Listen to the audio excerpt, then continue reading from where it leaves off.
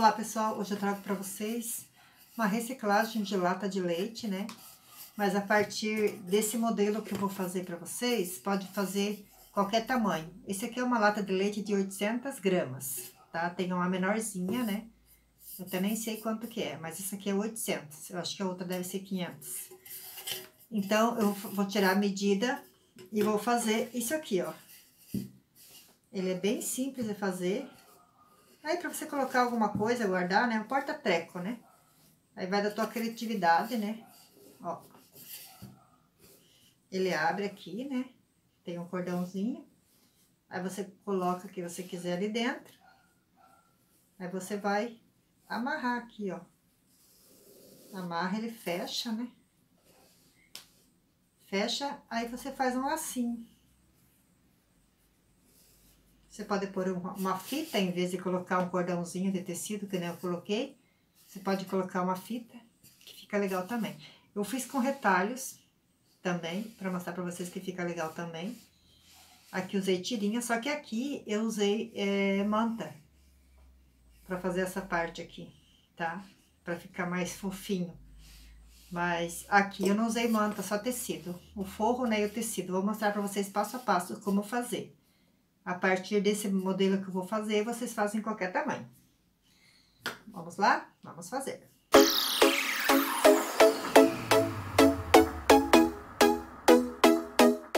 Então, vamos começar pelas medidas da lata, né? Então, a gente vai medir a circunferência dela, tá? Que deu 40,5 e eu vou acrescentar mais 3 centímetros, tá? Mais 3 é o suficiente. E agora, a altura, né? A altura dela é 14, e eu vou acrescentar também mais 3 centímetros, tá? Que vai ficar com 17, então vai ficar 17 por 43. Então, agora a gente vai tirar a medida do fundo, né?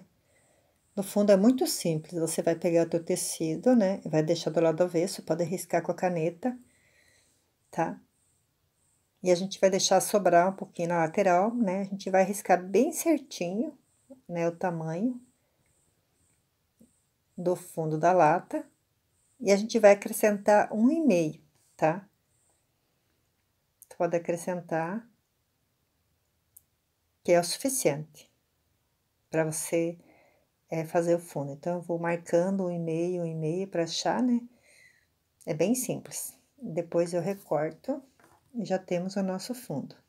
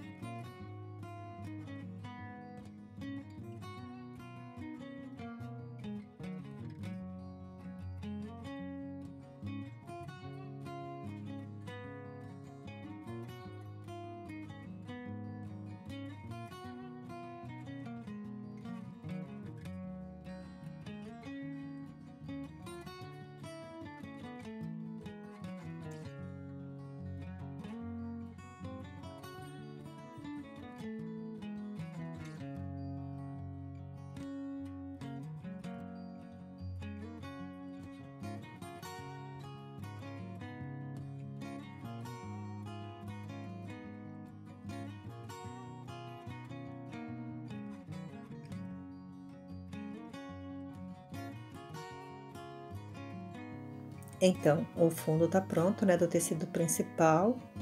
Então, eu já tenho cortado ali, ó, 17 por 43, mais o fundo, né?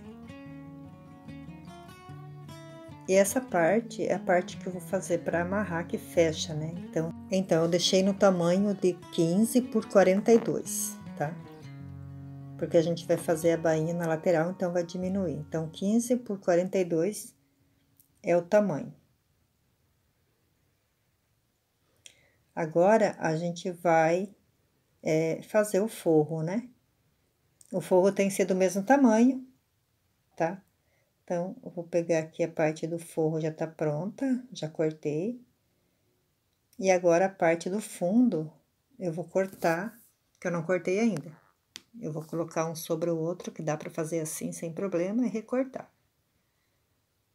Bem simples, não tem segredo. Então, eu vou usar bordado inglês também, né, para decorar, mas É opcional, se a pessoa não quiser pôr, não precisa, né? Como vocês viram no começo do vídeo, eu fiz aquele retalho, já não coloquei, ficou super legal.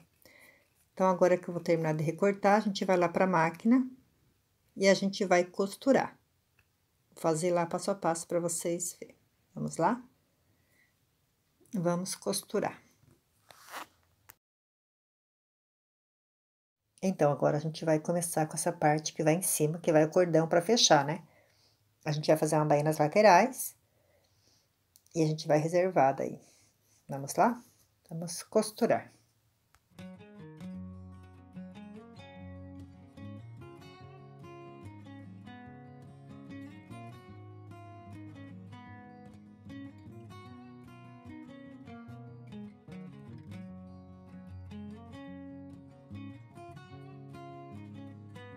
Então, gente, eu vou colocar um bordado inglês, né? Que é um barradinho. Então, a gente vai colocar... E eu vou fazendo as pregas na mão mesmo, bem simples, tá? Eu deixo aquela parte é que não é reta pra fora. E vou dobrando assim, ó. No olhômetro. E dá tudo certo. A gente vai costurando, deixa eu mostrar pra vocês de perto, olha só. Pra vocês entenderem, ó. Dobro assim, costuro dobro e vou dobrando e vou costurando, bem simples, tá? Então, eu vou fazer isso até o final. Quando chegar lá no final, corto, né? Que eu não cortei meu bordado inglês, eu tô dobrando com ele inteiro. Aí lá no final eu corto.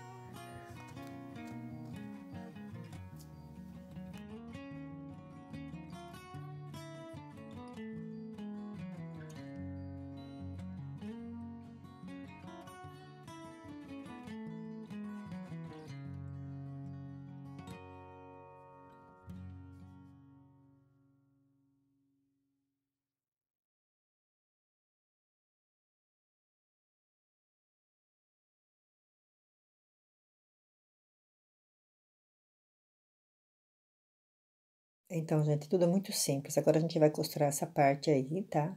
Deixando mais ou menos é, com um dedo, né? Então, centralizando ali só, porque a gente vai fechar depois aquela parte, não pode pegar na nossa abertura. Então, é, tem que centralizar para ficar assim mesmo, tá? Então, a gente tá fazendo um pé de máquina, sempre com retrocesso no começo e no final, tá? E agora, a gente vai dobrar, que a gente vai fechar, né? Vamos fechar também uma costura, né, com retrocesso no começo e no final também, tá?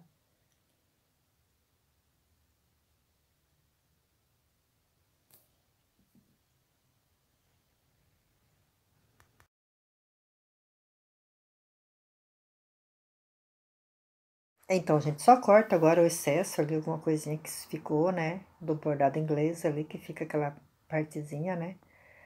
Eu vou cortar para não ficar grosso, né? Apesar de ser fininho, mas eu vou tirar fora.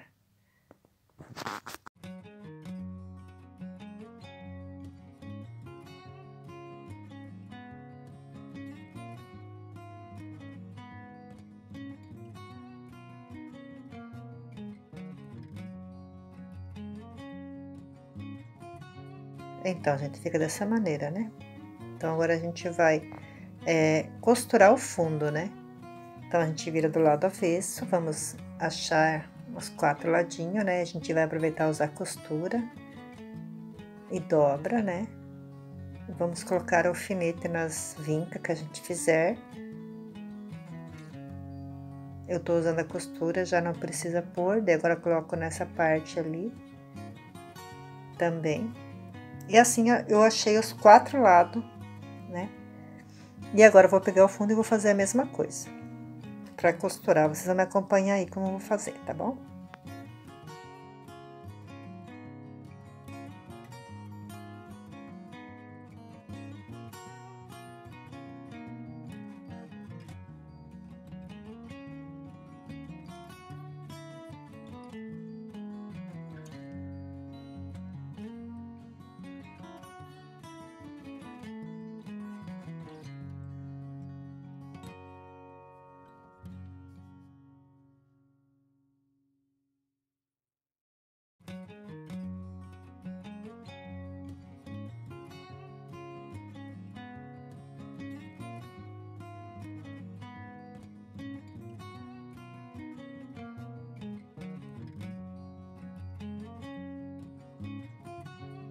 Então, gente, fazendo dessa maneira é mais fácil para a gente costurar quando é círculo, né? E o alfinete nessas horas auxilia bastante a gente, né? Que ajuda a distribuir bem certinho o círculo para a gente costurar.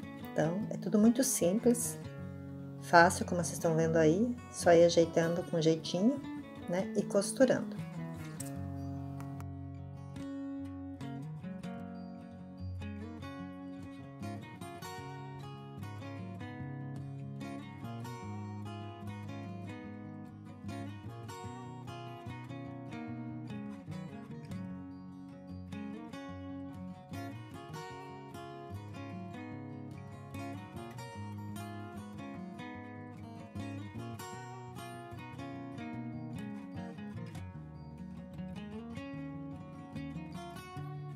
Então, essa parte tá pronta. Agora a gente vai fazer o forro, né?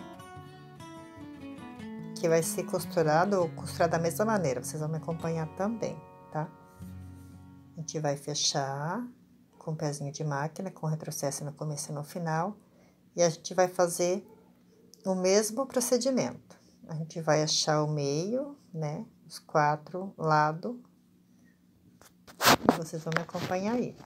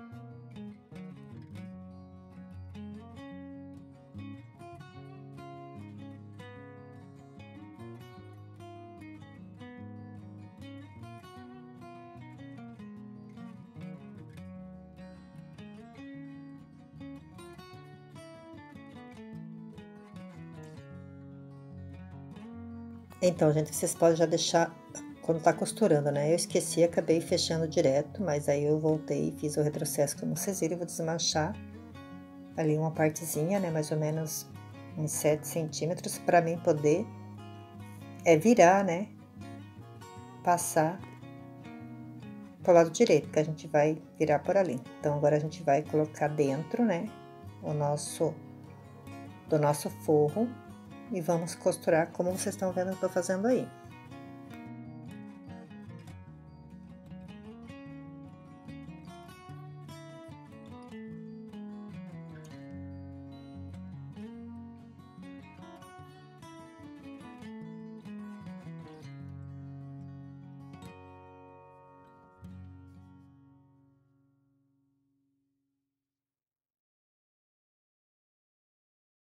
Então, gente, agora a gente vai desvirar por ali, né?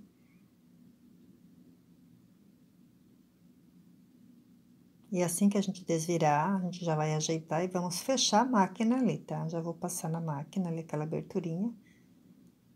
Ajeitar ali bem certinho e já vou costurar. Então, vamos lá.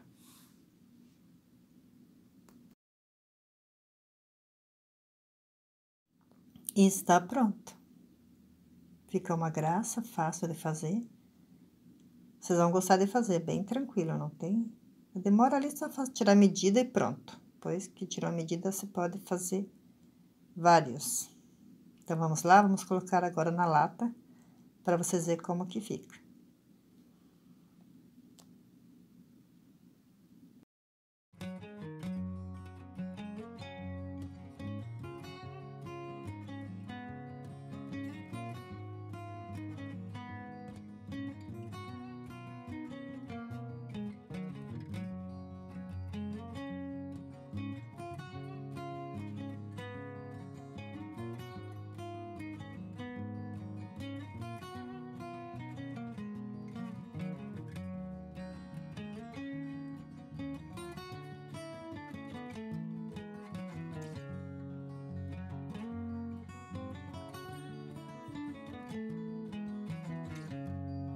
Então era isso, pessoal. Espero que vocês tenham gostado. Quem gostou, então, é dá um joinha para ajudar. Assim. Se inscreva no canal que não é inscrito. Né? Quem, Quem já é inscrito, meu muito obrigado. Obrigada a todos vocês que se inscreveram no canal, que estão sempre comentando. E até um próximo Obrigada a todos vocês que se inscreveram no canal, que estão sempre comigo.